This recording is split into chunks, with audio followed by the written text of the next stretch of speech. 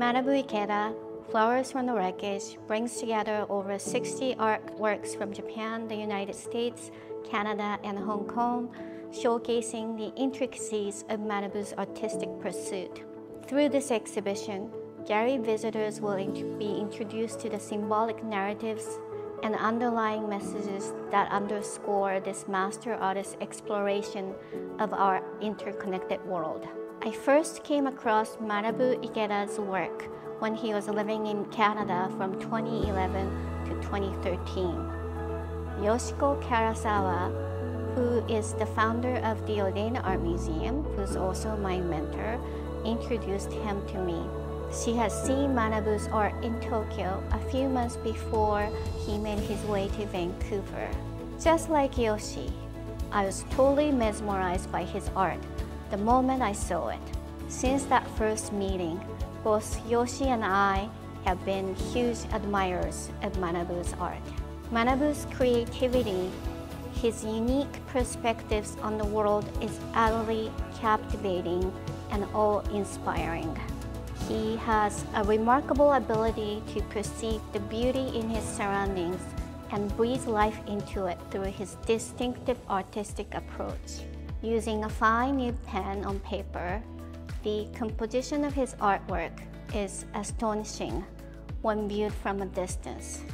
Manabu's attention to detail is evident in his depictions of leaves, flowers, and various other elements in different states of life and decay. He embarks on his artistic journey by focusing on small details and gradually expanding his imagination resorting in a breathtaking whole. Manabu is an extraordinary artist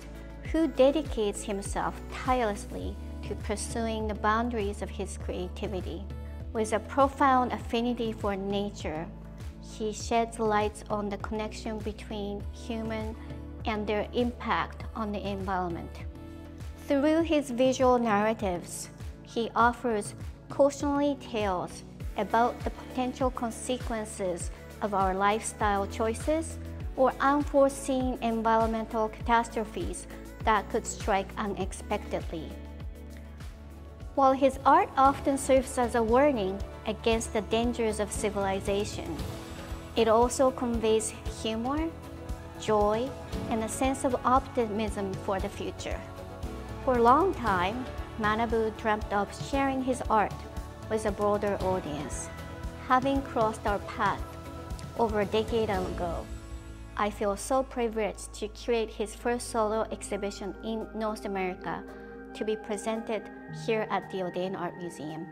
ここでの個展は自分にとって初めての海外での個展でありこれから世界の人々に自分の作品を知ってもらう上でとっても重要な作品のステップだと最初のステップだと感じています。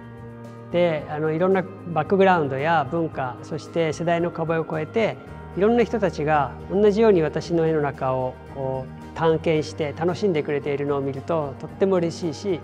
いろいろな感想を私に伝えてくれることはすごくもっといい作品を描こうっていう意欲につながっていきます。細部の情報から絵の発想が広がっていくので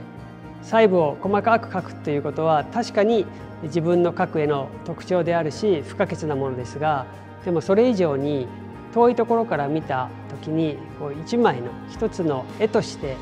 全体が成り立っているかっていうことが私の中では一番重要です。はっきりとした全体のイメージや下書きなどはもうほとんどない状態で絵を描き始めて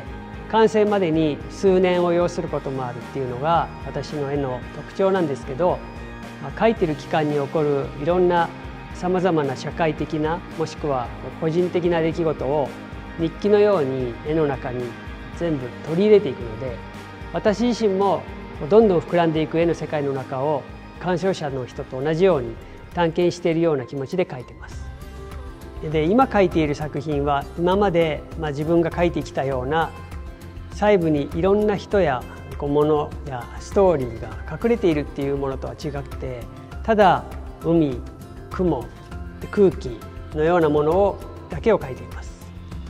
でこれは自分にとって初めてそしてすごく大きな挑戦です。でこれまでのま自分の壁を打ち破り新しいレベルに到達するために必要な作品だと思っています。北米に住み始めて感じた広大でケールの大きい空間や圧倒的な自然の迫力っていうのを細かいペンでを使ってどこまで表現できるかっていうのが今回の挑戦です。今後はもっと世界中のいろんな美術館で作品を見せていくのが私の目標です。